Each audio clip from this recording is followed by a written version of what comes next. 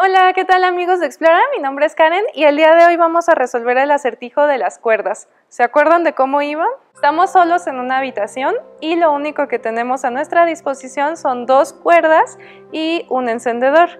Entonces, cada cuerda es completamente diferente, es de distinto material, de distinto grosor, pero tienen las dos la particularidad de que una vez que les prendemos fuego en un extremo, tardan una hora exacta en quemarse. No necesariamente se consume la misma distancia de cuerda que la otra, ni tampoco tiene que ser proporcional a los minutos. Solo tenemos ese dato y con esto tenemos que cronometrar 45 minutos. ¿Cómo le vamos a hacer?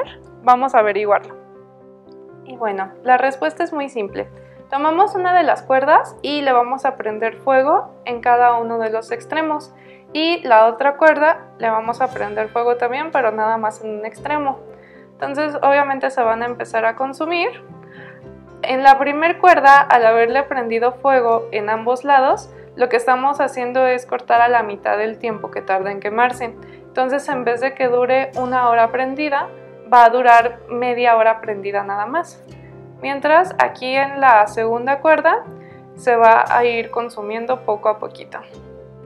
Entonces, al momento en que la primera cuerda ya se haya consumido en su totalidad, habrá pasado media hora, sin importar a qué altura esté la otra cuerda.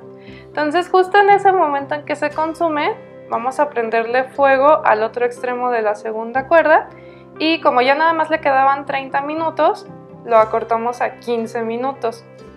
Entonces se va a ir quemando, quemando, quemando, quemando y en el momento en que toda esta cuerda se haya consumido, habrán pasado los 45 minutos. 30 que habíamos contado con la primera cuerda y 15 que habíamos cronometrado con la segunda cuerda. En total 45 minutos. Bueno, espero que se hayan divertido tanto como yo. Nos vemos la otra semana. Bye.